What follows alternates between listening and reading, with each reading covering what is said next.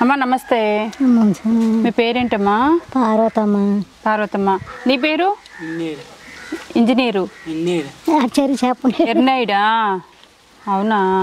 చెరి మాటలు రావమ్మా. మాటలు రావా నీకు? తిరిగి చెప్పండి ఏం మాట్లాడతావు మరి?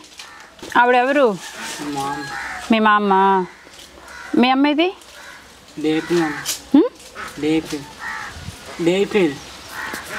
వేరే ఊర్లో ఉందా? మీ నాన్న? మీ నాన్న కూడా అక్కడే ఉన్నారా? వాళ్ళిద్దరు అక్కడ ఉన్నారా? నువ్వెందుకు నాన్న అమ్మ నాన్న దగ్గర కాకుండా మా అమ్మ దగ్గర ఉన్నావు? చిన్నప్పటి నుంచి అక్కడ ఉన్నాడమ్మా. చిన్నప్పటి నుంచి ఎందుకు ఇక్కడ ఉంచారు? ఎందుకు ఉన్నారు అంటున్నాను? అమ్మ నాన్న దగ్గర కదా ఉండాలి.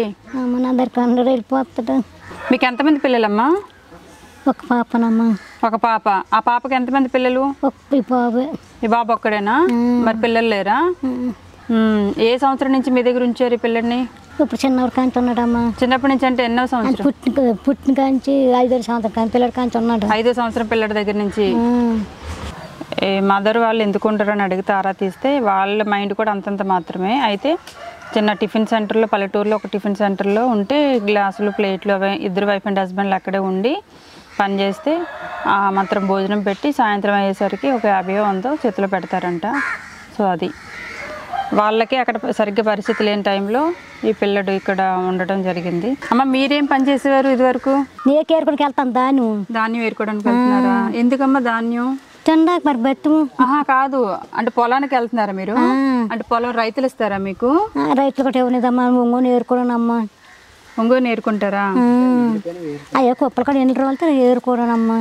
ఓహో వాళ్ళు పొలంలో పెట్టిన కుప్పలు వాళ్ళు తీసిగా మిగిలిన ధాన్యం ఏరుకుంటానమ్మా. అవి ఏరుకుంటున్నారా? వాళ్ళు ఏమని అంటారా మరి?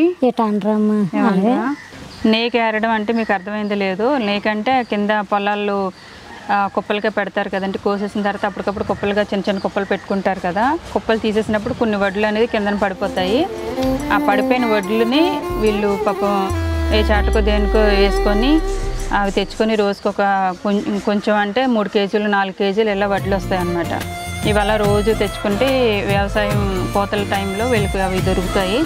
ఆ టైంలో ఒక బస్తా బియ్యమో లేకపోతే హాఫ్ బస్తా అని ఏదో వచ్చినప్పుడు అవి మిల్లుకి వేసుకొని కొంతకాలం అది జీవనాధారం కింద ఇవి వాడుతున్నారు. సో అది వీళ్ళకి పాపం సరిగ్గా చెప్పడం కూడా రావటం లేదు.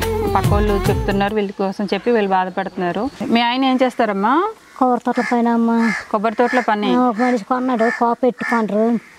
కాపు పెట్టుకుంటే. అదమ్మా కాయడానికి వెళ్ళి వంద రూపాయలు ఇస్తాడమ్మా.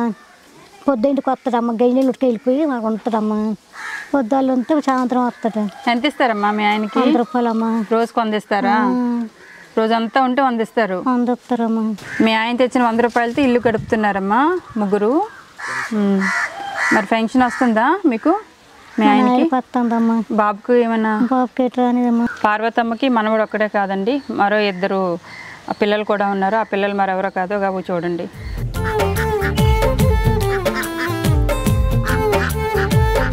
ఆ రెండు బాతులే పార్వతమ్మకి మరో సంతానం అనమాట ఆ బాతులను కూడా ఈవిడ పక్కన ఎక్కడో దొరికితే వాటిని కూడా తెచ్చుకొని పెంచుతున్నారు. వీళ్ళకు ఉన్న దాంట్లో ఇంత ముద్ద అన్నం వాటిని కూడా పెట్టి వాళ్ళ ఇంట్లోనే పెట్టుకుంటున్నారనమాట మరి ఇలాంటి వాళ్ళకి కదా మనం చేయాల్సిన సహాయం అందించాలి. ఓకే మన తరపున ఏదైనా చిన్న సహాయం అందిద్దాం. తీసుకురండి.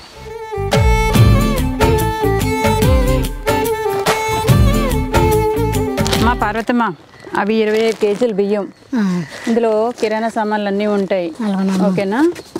మీరు తర్వాత ఇంటికి వెళ్ళి చూసుకోండి. పండగ వస్తుంది కదా. పండగకి చక్కగా కట్టుకోండి. ఎర్నాయుడు చలేస్తుందా నీకు రాత్రులు? అప్పుడు ఏం చేస్తావు? కప్పుకుంటావా? సరే. దాన్ని పెట్టు. కప్పుకో. ఆమె దాన్ని ఇంకా నీకు బట్టలు వస్తున్నాయి ఆగు. ఇందులో ఆయిల్ అన్నీ ఉంటాయి వంటలు చేసుకోండి. సరేనా? బనియన్ నీకు? సరేనా? టవలు. తాతయ్యకి లుంగి ఇచ్చివు ఎన్నాడు ఇద్దరికి తీసుకోండి. సరేనా? మీకెళ్ళే. పండక్కి మీరు తాతయ్య ఎర్నాయుడు హ్యాపీగా మంచి భోజనం వండుకొని కొత్త బట్టలు కట్టుకొని ఈ పండగని సంతోషంగా జరుపుకోండి. ఏమ్మా? సరేనా. బాయ్.